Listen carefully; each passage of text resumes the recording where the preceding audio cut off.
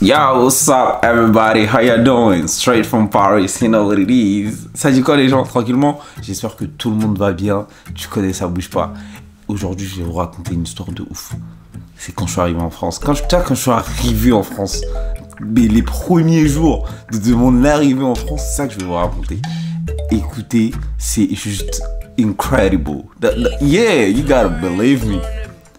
Jingle. Prince de la ville,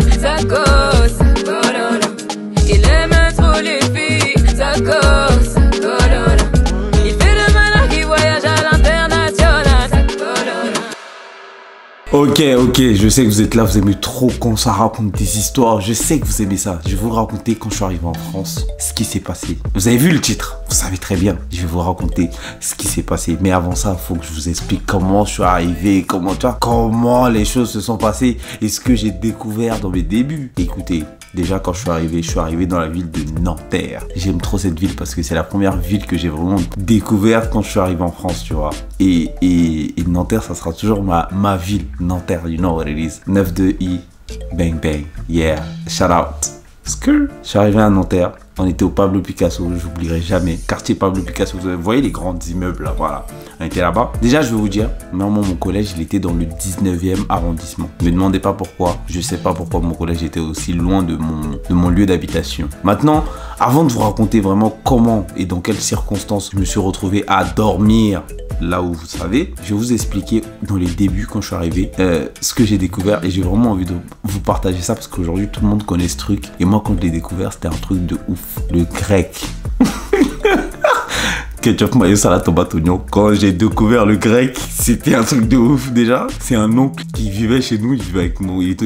on va dire, c'était le colocataire de mon père, mais en même temps, c'était un oncle et tout. C'était un malien, tu vois. Quand on est arrivé, tout ça, on va dire qu'il nous a pris sous son aile, tu vois.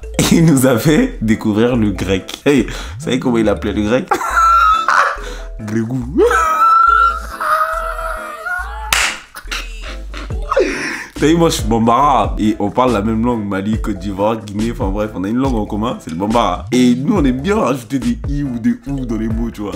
Et il a dit, hé, eh, ah ouais, Grégou non. Et Grégou Du coup, le jour où on allé au grec, et il nous a fait découvrir le grec, c'était juste incroyable. Il a dit non, ne prenez pas les trucs. Euh, non, non, non, non. Ketchup, mayo, salade, tomate, oignon, c'est tout. Eh, on a pris le basique et je vous promets, jusqu'à aujourd'hui, j'ai encore le souvenir de ma première bouchée. Ah, ah, ah, ah. Grégou. Grégou. Grégou Je voulais vous raconter cette anecdote parce que ça m'a vraiment marqué. Le grec aujourd'hui, c'est une grande histoire d'amour entre lui et moi. Non, faut qu'on se dise la vérité. Ça perdure et ça va jamais finir. Jusqu'à ma mort, je mangerai le grec. Merci pour celui qui a créé ça. Merci au grec. Merci à la Grèce. Merci à la Turquie. Merci à la Grèce antique.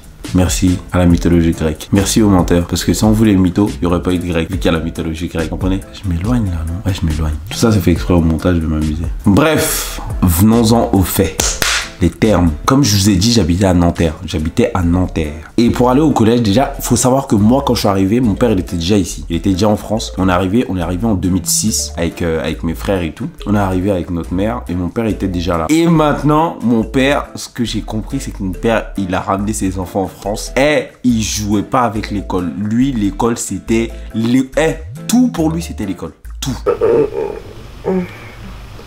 Moi, j'ai mal au ventre. Ah, tu vois mon fils, l'école.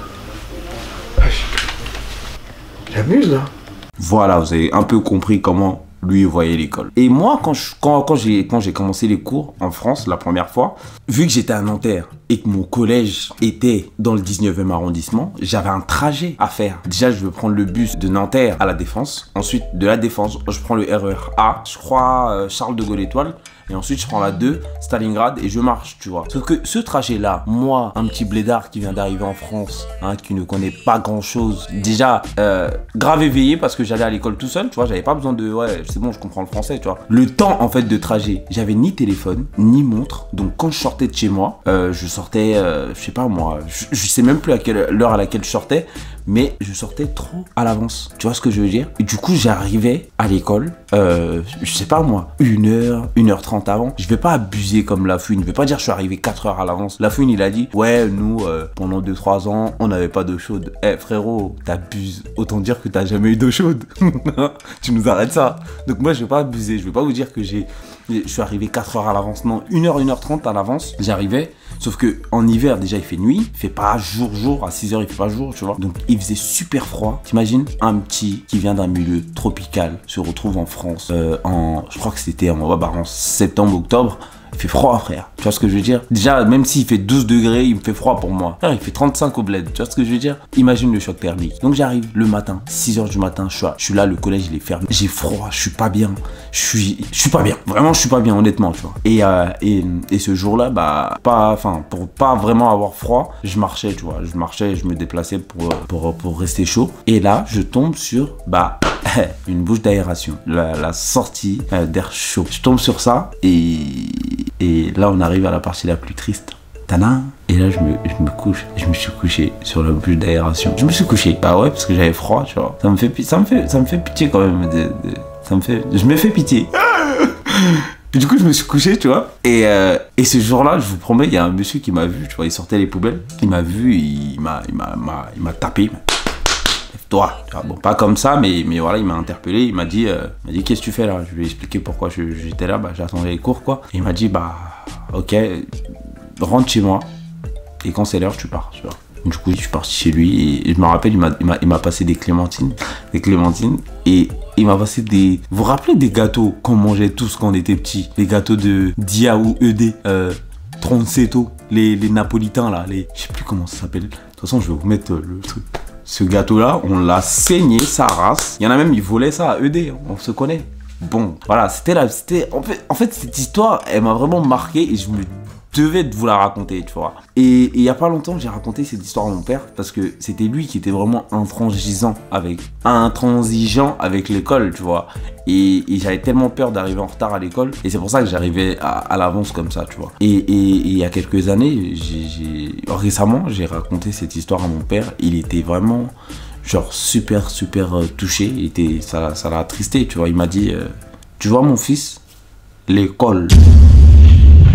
Voilà, j'espère que vous avez bien aimé cette vidéo. C'est une petite anecdote que voilà que je voulais partager. Et s'il y a des gens qui ont vécu à peu près la même chose ou qui ont vécu des galères, n'hésitez pas à mettre ça dans les commentaires et partagez la vidéo si vous avez bien aimé. Euh, n'hésitez pas à, vous abonner, activez la cloche de notification comme ça vous ne raterez aucune vidéo de, de, de, de, moi, de moi, de, moi quoi, de moi. Et, et voilà, hein. en tout cas, j'espère que vous avez bien kiffé. Et puis, vous n'hésitez pas à partager encore et encore et encore. Parce que je vais revenir. Là, c'est des petites histoires encore, tu vois. Mais je vais venir avec des histoires que j'ai vécues. Vous allez être choqués. Vous allez dire, comment il a vécu ça? Il est, incroyable. Des, des histoires de ouf. Donc, abonnez-vous, mettez des commentaires, dites ce que vous en pensez. N'hésitez pas. Là, on est une famille. Là, c'est la chaîne de, de, de Sako quand même. You know what it is. Ça bouge pas. C'est la famille. Allez, ciao.